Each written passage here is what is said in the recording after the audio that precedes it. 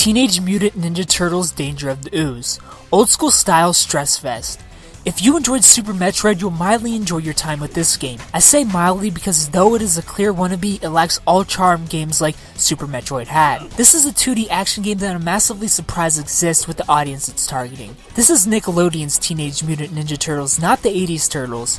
This game is targeted at modern day children with a gameplay style I honestly don't believe they'll enjoy or appreciate. Danger of the Ooze is ruthless like many old school games were. This is the first time in a long time that I played a game and had to start a new game because I got to a point where it's too frustrating to try and continue with the situation I got myself in. You start the game with all four turtles, Leonardo, Michelangelo, Donatello, and Raphael. There are a variation of enemies crawling everywhere so chances are that if you aren't used to this style of gaming, aka the majority of the new gaming generation, generation that is used to health regeneration, you'll have a frustrating time with this title for its first hour. If you lose a turtle, you have to find that turtle in a restoration room. The only problem is that the room they are in is random, and they can be in any of the 13 map locations you'll visit if you've been there yet or not. You could lose a turtle in the first 10 minutes of the game and not see him again until nearly the final boss. I personally lost 3 of the 4 in the second map area. Needless to say, I used my final turtle to feel the game out and start a fresh save. There are save points in the game which are a great trick to not having having to rescue your turtles.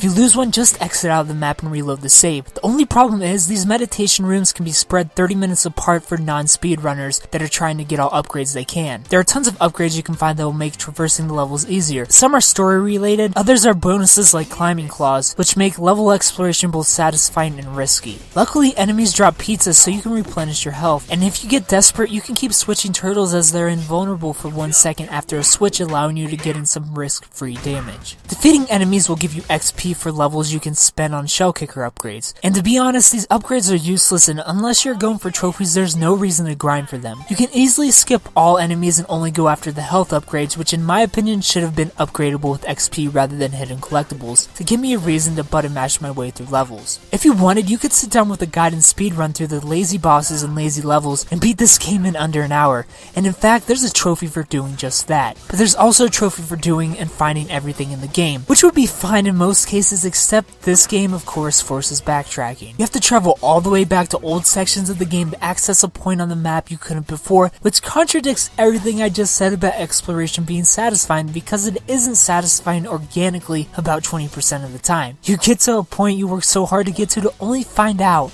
you have to come back later. It's crap, I hate seeing it in games, developers need to stop doing it. At first, I could overlook the frustration of backtracking because I know that no two gamers are alike. What I hate, others may enjoy. I could still give this game a decent review, right?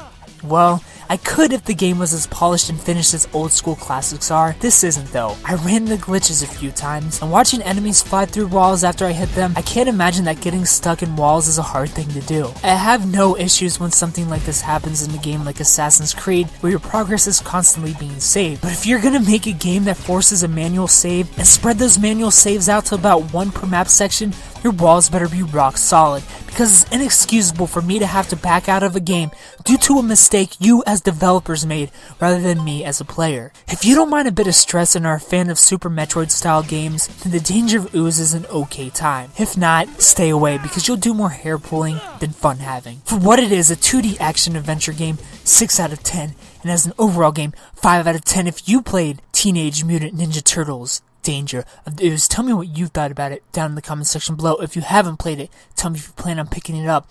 Thumbs up if you like the video, subscribe if you're new to the channel, and tune in Monday first impressions where you find out what game we're playing next. Thanks for watching.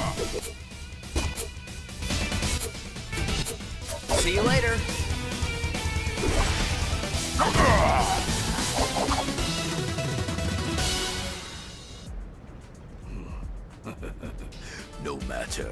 Neutralizes Bin in Dimension X our entire battle.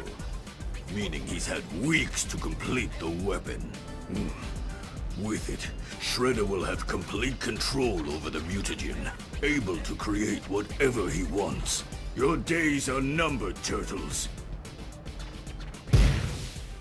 Yes! We get to go back to Dimension X! I get to be super awesome again!